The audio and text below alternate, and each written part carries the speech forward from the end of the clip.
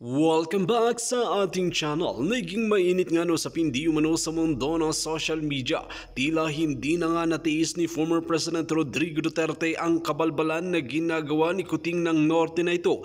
Lisa Smugs at Tambalslos. Dito nga natin makikita mga kaibigan na linabas na nga ni Tatay Digong ang matinding ebidensya at kasama pa ang video na ito. Dito natin mapapatunayan mga kaibigan na hindi na nga talaga masikmura ni Tatay Digong ang mga kabalbalan kabalbalan na ginagawa mismo sa loob ng Malacanang. Kaya naman talagang hindi nga natin masisisi ang mga netizen na talagang batikusin nga itong sikuting ng norte na ito dahil wala itong ginagawa sa bansang Pilipinas na talagang pinaninindigan niya ang kanyang naging interview na talagang hindi siya tutulong sa problema ng kahit asaan ahensya. Ibang-iba nga talaga sa pamumuno ni Tatay Digong na talagang umaaksyon nga agad ito kung may problema kahit saan ahensya pa ito. Dito natin mga kikita na talagang pinapabagsak na ni Kuting ng Norte ang mga batikang mga vlogger na nagsisiwalat ng katotohanan at mga kabulukan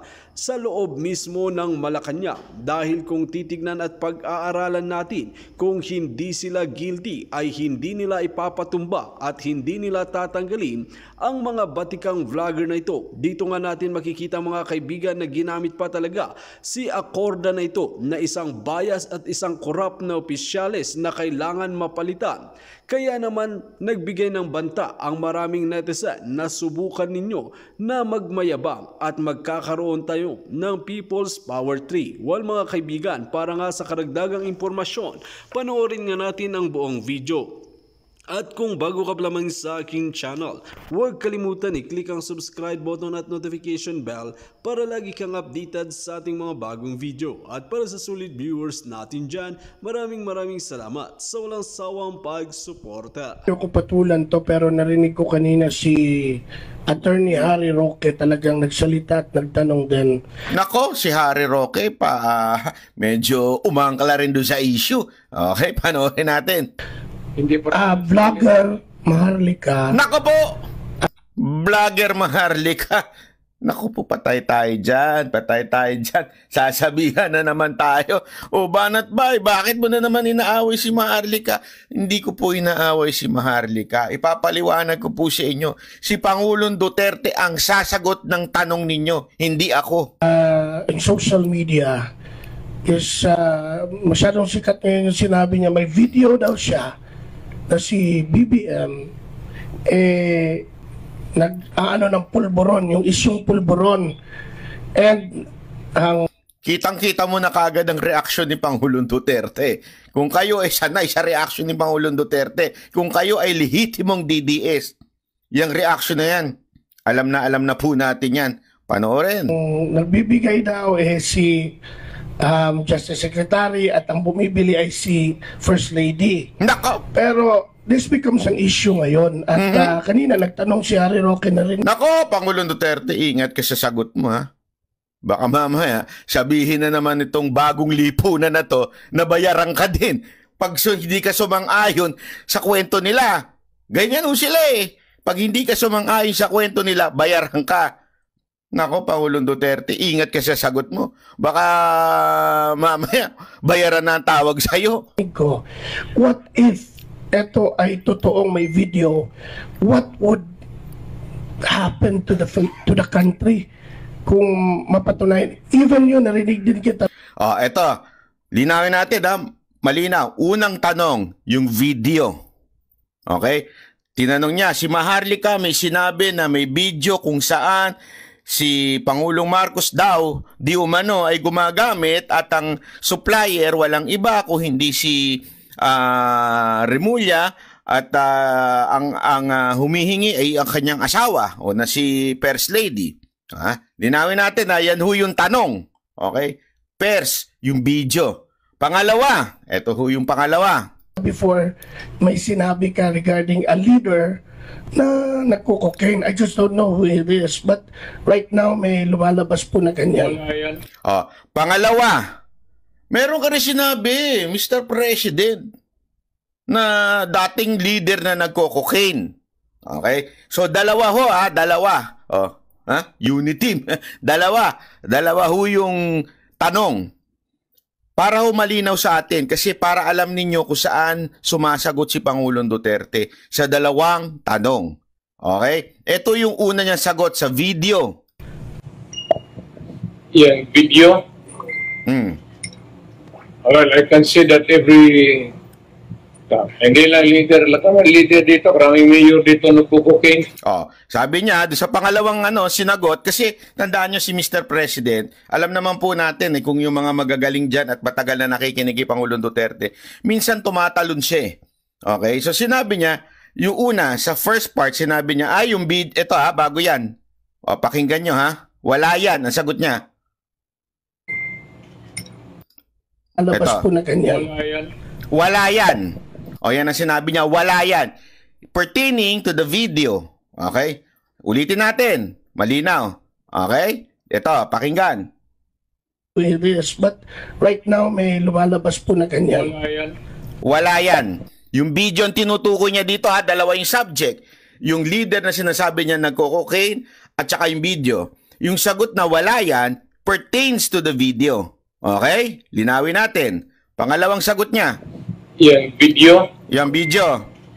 Hmm. Well, I can say that every Well, I can say that every mayor hindi lang leader, lahat naman leader dito, maraming mayor dito nagkukuking. Oh, maraming leader, maraming mayor na nagko-cocaine. So sa madaling salita, hindi niya sinabing hindi nagko-cocaine si Marcos. Wala siyang sinabing ganon. Hindi rin niya sinabing nagko-cocaine si Marcos. Linawin natin. Okay? Sinasabi niya, ah, maraming leader na nagko-cocaine. Ah, maraming kahit ah, mayor nagko-cocaine. Ito yung kasunod. Uh, there's no such thing. There is no such thing. Patay tayo dyan, Mr. President. Yari ka ngayon kay Bagong Lipunan at kay Maharlika. Baka mamaya paratangan kang bayaran ka ni Ma'am Shi. Nako po, patay tayo dyan eh. Ta kami eh. Hindi kami sumakay sa kwento. Kaming banateros. Ano sabi? Bayaran kami. Hindi kami bumabanat at hindi namin kinakarga yung mga expose nila. Ano sa amin? Sabi nila, bayaran kami. Si, si Bago Lipunan na hindi ho si Maharlika. Si Bago Lipunan at saka yung mga tatanga-tanga niya pong followers. Yun ang sabi, bayaran daw kami. Nako Mr. President, paano yan? Hindi kayo sumakay sa kwento ni Bago Lipunan na may video. Patay tayo dyan. Ibig sabihin, bayaran ka din, Mr. President. Kasi kung nandyan pa yan, matagal na lumabas yan. Ayan, yan ang sinasabi ko eh. Kung nandyan pa yan, matagal nang lumabas yan. Alam mo, ganito lang yan. Nag-live ako kaganina habang nandyan tayo sa may Sapporo, ah, umiinom-inom ng konti. Nag-live tayo dyan. Sabi ko, anak na lintik na video na yan, ayaw pang ilabas. Alam nyo kung bakit? Kung talagang may video, wala nang drama-drama. Kasi sabi ng iba, tatimingan yan. Anong tatimingan? This is a serious matter. If there is such thing as video ng presidenteng nagko-cocaine, if there is such thing as na bidyong ganyan, napaka-importante niyan sa ating bayan. Tapos bibitinin mo, tapos dadrama-drama pa. Pasensya na, pero lalong-lalo na si Bagong Lipunan, ano, kiniklickbait niya pa, o, ito ang teaser sa video.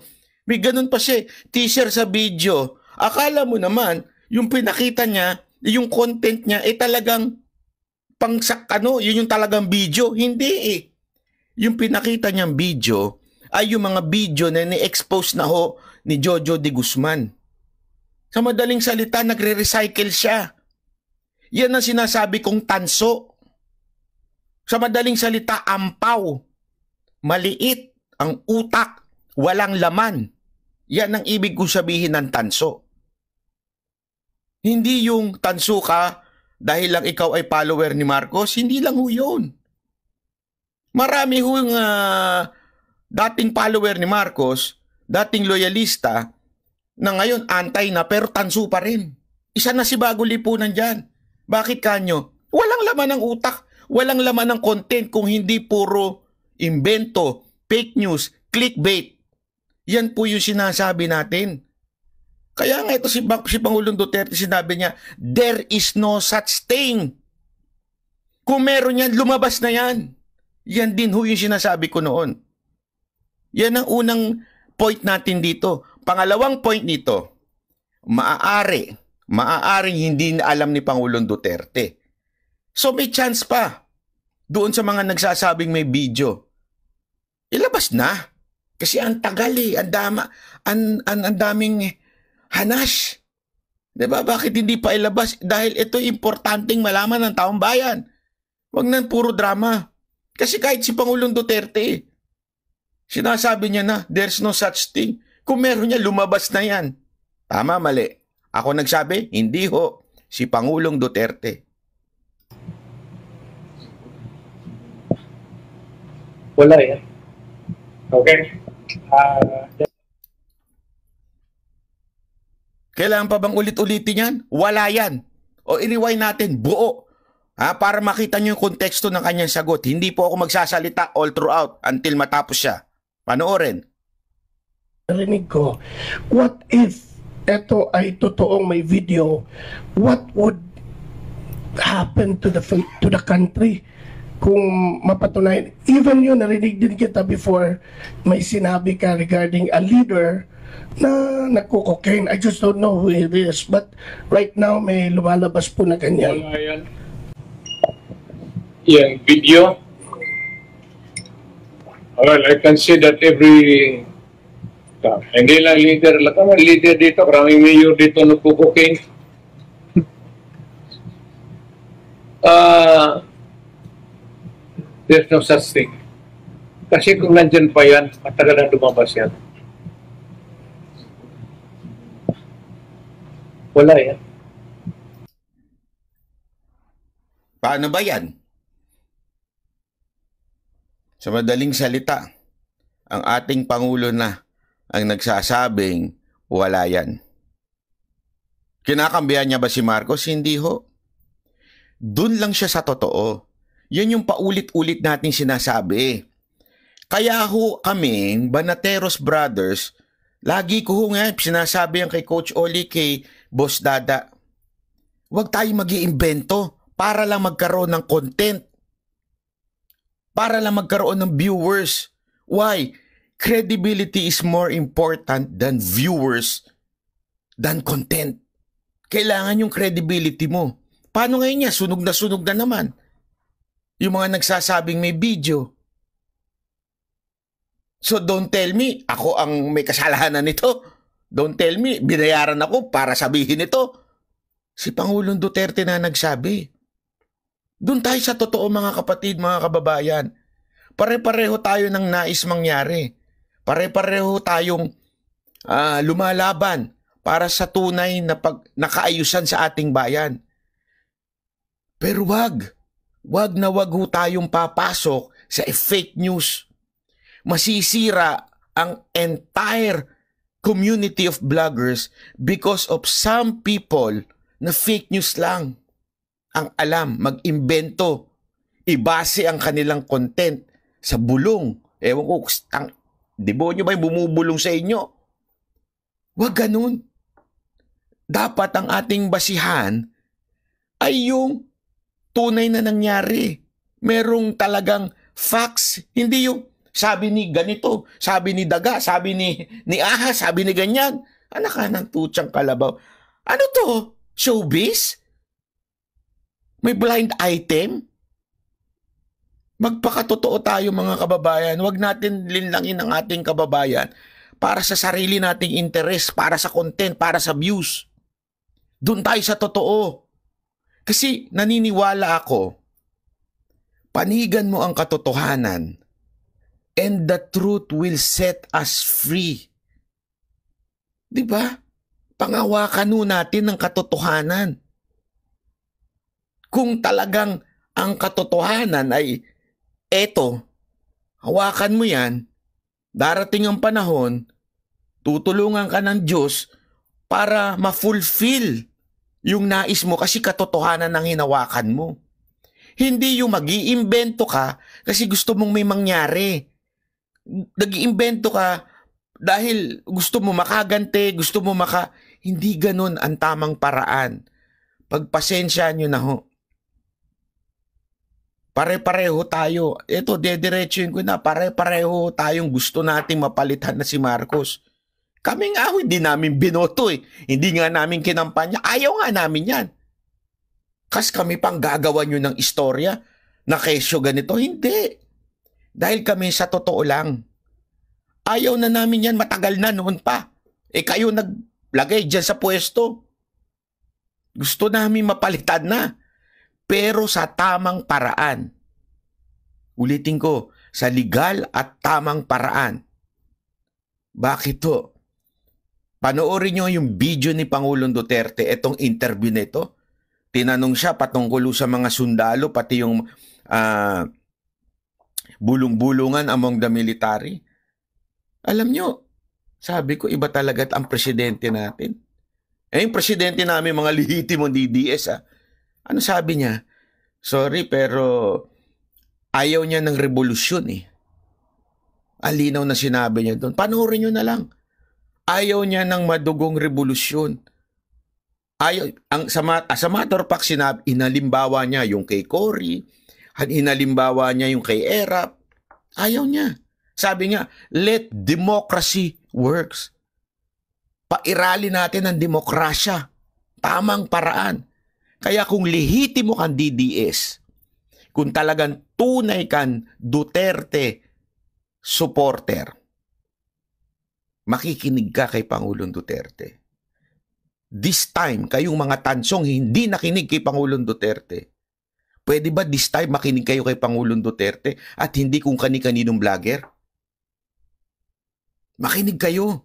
Yan ang problema sa inyo eh yung mga vlogger na pinakikinggan ninyo, binudol na nga kayo noong 2022, eto na naman kayo, naniniwala na naman kayo. Binubudol lang kayo niyan. Para sa sariling interes. Kung talagang para sa bayan kayo, makinig kayo kay Pangulong Duterte. Pakinggan nyo yung interview. Nandyan yung paraan kung papaano maaayos ang bayan natin. Pakinggan natin. Mas maalam ho siya eh.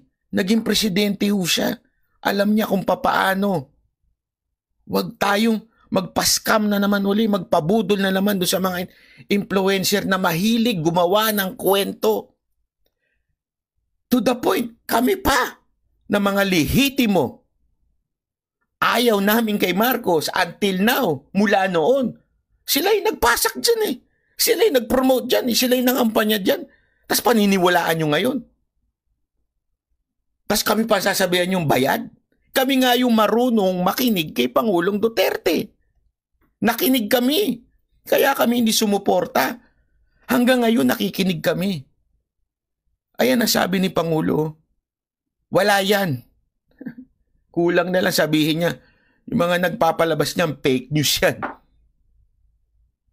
Alam niyo kung gusto ninyong makita yung masasabi nating gustong mangyari ni Pangulong Duterte. Huwag kayo makinig sa akin. Huwag kayo makinig sa kahit, kahit sino mang vlogger.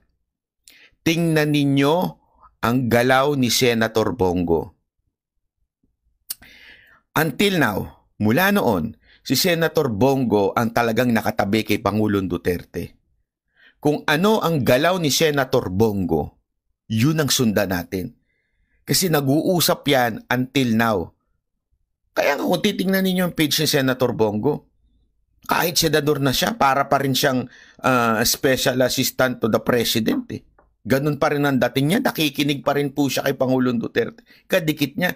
So kung ano yung galawan ni Senator Bongo, yun dapat ang sinusundan natin. Kesa sa mga punyetang mga vlogger na walang alam kung hindi mambudol ng kapwa para sa sariling interes. Huwag ganun. Matuto na tayong makinig. Nananawagan ako sa mga nabudol. Nananawagan ako sa inyo. Nabudol na kayo nun. Kung talagang nagsisisi kayo sa nangyari noon, sa pinaniwalaan nyo noon, sa maling pagboto nyo noon, kung talagang nagsisisi na kayo, this time, learn to listen to Tatay Digong. Never kung pumasok sa isip ko, na-explain ko na yata sa mga nakaraang vlog ko na ah, during kay Pebbles, di ba Roy? Ay wala ka Mm. nun Roy, eh, tulog ka na. So anyway, na si Pebbles talaga, Pe- Pe- Pebbles ah, Kunanan, Talakera, yung gustong una talagang mag, mag ano, mag, magdasalita sa social media. So, kinausap, actually, kinausap ko si Senator Amy dyan eh. Ah, I don't know kung na-mention ko. Kinausap ko, ah yeah, na-mention ko yan sa vlog ko. Kinausap ko na, mother, ay sabi ko, Senator Amy, si Pebbles magsasalita patungkol sa ginagawa ni ni Lisa. Actually, si Lisa talaga. Yun ang text ko kay Amy kasi gusto na magsalita ni Pebbles dahil nga doon sa issue kay ah, RJ Nieto. You know that already. Balikan nyo na yung mga nakaraang vlog na, namin. So, ako bilang isang Marcos supporter talaga, ayoko mag-criticize. Kaya pinagawan ko ng paraan kay Senator Amy na kung pwedeng kasi kaibigan niya si Pebbles eh. Magkakaibigan kami sila kami nila da, well si Daryl hindi kami nagkita ng personal. Hindi ko masasabi kaibigan ko siya talaga. Kilala ko lang siya pero I don't know kung kilala niya ako. But anyway, during that time ah yung nga yung tinext ko si Senator Amy na can you do something? Kasi mayroong, ang exact term ko mayroong ipapasavog, V-O-G-E yata. Mayroong bomba. So ganun yun, parang bakling-bakling kami mag-text si Pebbles. Ang eksaktong tinext sa akin ni Senator Amy at tatayuan ko po yan kahit sa ang hukom kami magpunta. Kahit sa huling hukom ng Diyos. Sinabi po ni Senator Amy sa akin, Maharlika, ano yun? Yung tungkol sa pagpapadeliver ni Lisa ng pulboron? So nagulat ako dun sa statement niya. Actually, sinend, I mean, sinabi ko yun kay Pebbles. Hoy, sabi ko, mother, nagpa-deliver ka ba ng pulburon? So, you know, you know the pulburon, right? So, I never mentioned na kung ano yung isisiwalat ni Pebbles. Okay? Ni Pebbles Salakera or Pebbles Kunanan. Pero galing mismo po yan kay Senator Amy na sinabi niya, ano yun Maharlika? Yung tungkol sa pagpapadeliver ni Lisa, ni Lam, L-A-M, ni Lisa Marcos ng pulburon. Kaya nga, ah, yung pagpapadeliver o pagpapabili, ganun yung word. So, kaya nawindang ako, actually, may do, ito, I don't know kung nasabi ko kay ah, Pebbles, na, na, na parang sinabi ko, ano ba to baka mamaya, ito kaibigan ko si Pebbles, baka mamaya sangkot dito sa pulburon. May ganun akong thinking kasi, you know what?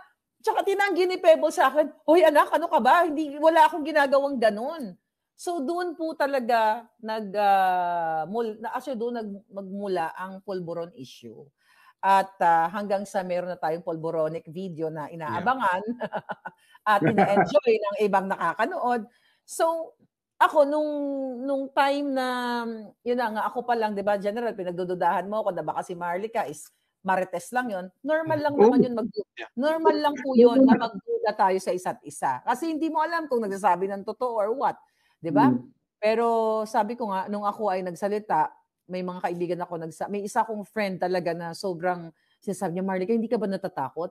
Ang daming 31 million yang babanggain mo. So ang sagot ko wala akong pakialam kahit 31 million yan, later on, mabubuksan ko ang isipan Yeah. yan sa totoong nangyayari. So doon po Yun. yun, General. Sana ako. na, Saka yung, yung sinasabi ko na advisor ko sa vlogging journey, nanonood sa'yo, hindi ko lang banggitin ang pangalan. Opo, wag na, wag na. Baka pa daw mai-target. mga ebidensya. Well, well researched, well researched daw yung mga topics mo, sabi ng aking kaibigan. Okay, Roy. May tanong ako kay ah, General Macanas. Um, napanood ko kasi na sinabi mo may nag-message sa'yo, may, may puting ahas ka rin na isang colonel ang nakapanood ng video, ng, ng pulboronic video. Mhm. Hmm. Ayun, so, talaga. paki, yeah, paki-share na lang po yung ano yun, yung statement na yun. Ano ba talagang nangyari? Um, A1 source ba talaga siya or Ah, hindi ko pwedeng ma-detalye, medyo sensitive ito. Basta, sabi ni Marika, mahirap magsinungaling. Mhm. Apo. Ang aking kwan, hindi ako mag-vlog. Kung nagsisinungaling ako, eh huwag na lang ako mag-vlog. Mhm. Okay? So, papapanindigan ko yan. Mm. Kaya Right. Tapos yung nagre-report sa akin, hindi ako basta-basta naniniwala. Totoo yun. Mm. Okay, that's good. Oh, ma- bago pa nagsabi si Fair Lady Marlica yung pulburon video na hinahanap sa iyo, two months before that, Mm. meron na akong informant na nagsabi na nakakita siya ng video na nagpupulburon yung nandyan sa Malacanang. Kailan? Kapaninira lang ito. Tinabi ko lang. Marami na siyang sinasabi, tinatabi ko lang. Para magdiyan ka lang muna. Mm-mm. I-confirm ko Oh, na. Eh nung nagbanggit ka, Madam Maharlika, na kailan ba ito? Itong December, na hinahanap sa iyo yung pulburon video na yun. Oo. Ito naman yung sinasabi ng two months ago na nag... ah, at napanood niya mismo. So, yun. Connecting the dots kasi na, na-train kami ng military intelligence. Kailangan i-process mo lahat ng information bago mo aksyonan. Mm. Yes. Actually, like you, General, in ikaw, Roy, ako ang dami din talagang puting ahas na random ito. People that I don't know na sinasabi nila, ito, ito, ito. You know what? Bago ko po ilabas yung expose ko, ito si puting ahas, Miss Maharlika, ito, dadadada. Po, tapos, ifo-forward ko yan sa isa kong puting ahas. Ma'am, Mhm. o sir, eto may information tayo. Totoo ba yan? Baka mamaya, you know, paninira lang. Nagbe-verify kami. So, nag nagbe-verify talaga ako kasi baka mamaya itong nagbibigay sa atin ng information, gusto lang tayong sirain. Or Oo, utos correct. pala ni, pain utos- lang, di ba? kain lang. Utos pala ni Oo. Lisa, ni Lisa Smugs. So, gusto ko lang linawin uh, because we're like 6,000 live viewers right now, General. So, ang daming na nakatutok sa atin. Pinagbibintangan tayo, General eh. Sa Roy, pinagbibintangan tayo na tayo ay parte ng destabilisasyon. So, ikaw, General, gusto lang natin i-define yung pagdestabilisasyon or destabilization. Ano ba ang pagkakaintindi mo once na ginamitan tayo ng ganong pronouncement na kayong mga vlogger ay parte kayo ng destabilisasyon? You first, General. Okay, ang destabilization sa amin sa military, yun na yung armed na kudita. Destabilize the government. Pabagsakin ang gobyerno. Ah, paano mo mapabagsak ang gobyerno? Kailangan mo ng armas. Yung CPP-NPA, Yan. they're destabilizing the government. Sila ang number one destabilizers. Ano pa? Ah, nung una, itong mga MNLF, MILF, dahil may armas eh. So ang destabilization, it involves arms. Yes. Ah, itong ginagawa natin, ang tawag ko dito is ano, freedom of expression. Yeah. Kasi social media age na tayo eh. Oh, a well-informed citizen race, the foundation of a strong democratic society. Yun ang napag-aralan ko. Mhm. Kaya ako nag-vlog ng ganito nung una, personal experiences ko lang. Yung natutunan ko lesson la, lessons learned sa buhay ko, yun ang iblina vlog ko to give positive influence sa aking mga viewers kung maniwala sila. Opo. So yun, that's ano, ah, part of democracy. Hanggang hindi ko maintindihan ang nangyari sa vlogging journey ko na napasawsaw sa politika. Mm. Yeah. Oo nga, kasi experience ko yun Dahil may nakikita kong mali. Ang una kong ang una kong ah, decision is pabayaan mo na lang, retired na ako eh. Tapos na yung service ko. Yun ang una kong ano, bakit pa ko ano, kailangan ang konsensya. Yes. Eh, may pension ako. Yung pension ko galing sa taong bayan. Ang taong bayan, nilun ko. Hindi ko maatim yung aking konsensya na tumatanggap ng malaki-laking pensyon at wala akong gagawin. Kaya itong ginagawa ko ngayon, to me, ang aking point of view is, I am doing this for my countrymen Opo. na patulungan ko sila. Eh kung ang tingin ng gobyerno is I am destabilizing, eh di bahala sila. Mhm.